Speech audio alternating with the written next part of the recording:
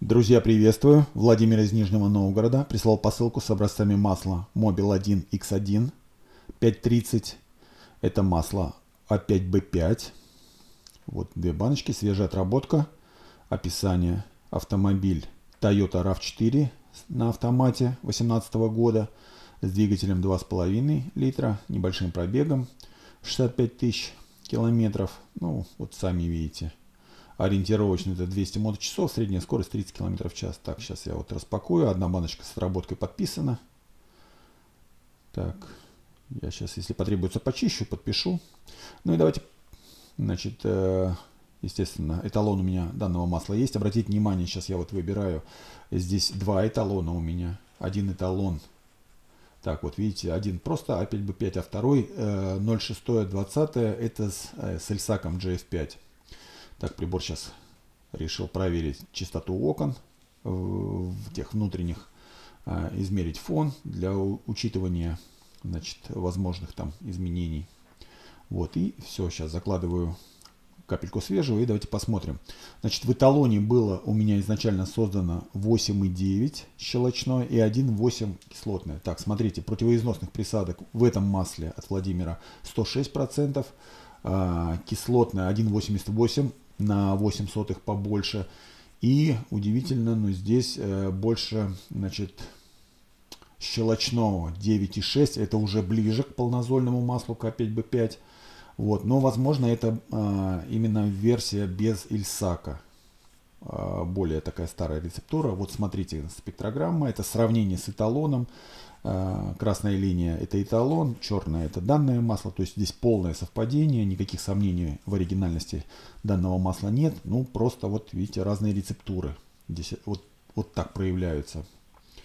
Все, я сохраняю, значит, э, так, я там подправил на 9,6, ну и можно приступать, значит, к проверке отработки. Так, 6000 километров, 200 моточасов примерно, ну так заявлено Владимиром. Вот по автомобилю, значит, средняя скорость 30 км в час, э, эксплуатировалось масло с э, января по март и газпромовское топливо 95, i95. Ну давайте посмотрим, что намерит прибор. А, что намерит. Он опять тут, э, значит, проверяет окна. Ну не знаю, у него там свои алгоритмы. Так, и смотрите, значит, противоизносных присадок 70%, Э, так, нитрование по чуть-чуть, здесь нормально. Посмотрите, сажи практически нет, отлично, да, видно средняя скорость высокая, оптимальное вообще сгорание, все хорошо сгорает. Сажи практически нет. 2,45 кислотная, неплохо, даже, даже не дотягивает до единицы за 200 моточасов, отличный результат. 6,9 э, щелочной, то есть еще видим запас есть приличный такой у масла, я бы сказал. Ну, как бы ни гликоли, ничего, все, все, все, в общем-то, отлично. Ну вот, да, сажи для 200 моточасов и сажи нет. Да. Хорошо работает мотор. Я бы так сказал. Хотя, давайте посмотрим на вязкость. Значит, сейчас э, заложу образец свежего и образец отработки и проверим, что произошло с вязкостью. Так,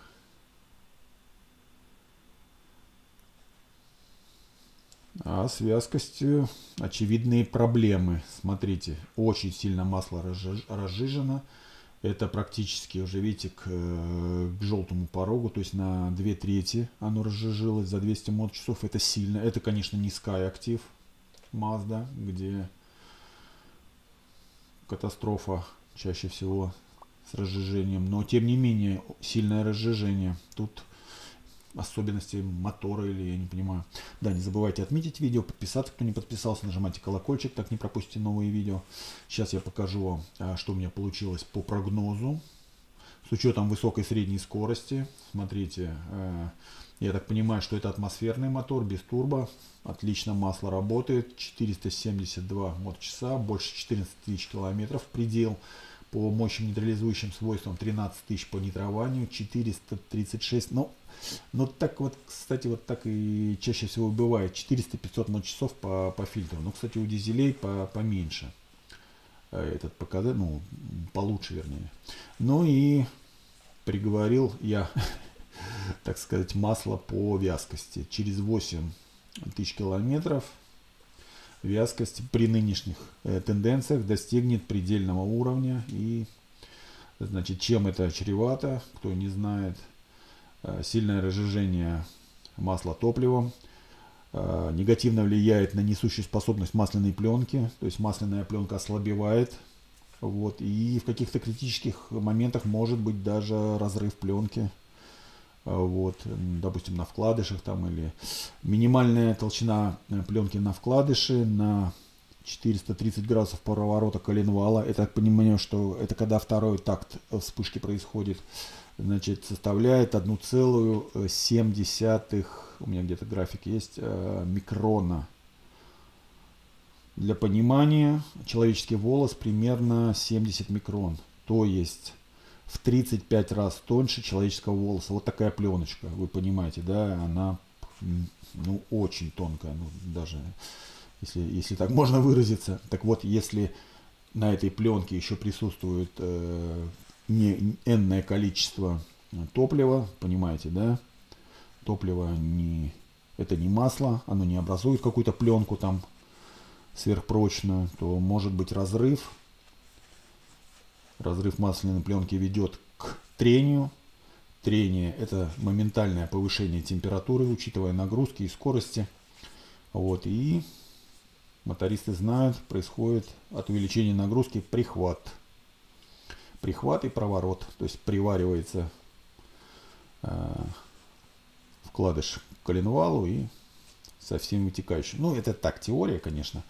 Может, кто-то больше разбирается, поправит меня. Я не моторист, специалист. Вот, но тем не менее, вот так. Поэтому сильное разжижение э, опасно, на мой взгляд.